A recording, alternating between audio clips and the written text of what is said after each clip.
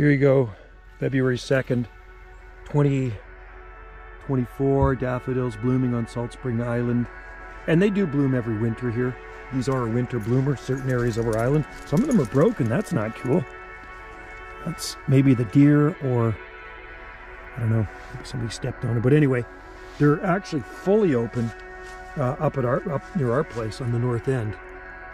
These are kind of mid-island and they are growing right near the water, so a really good microclimate. Oh, these ones are all squished. Look at that. Good.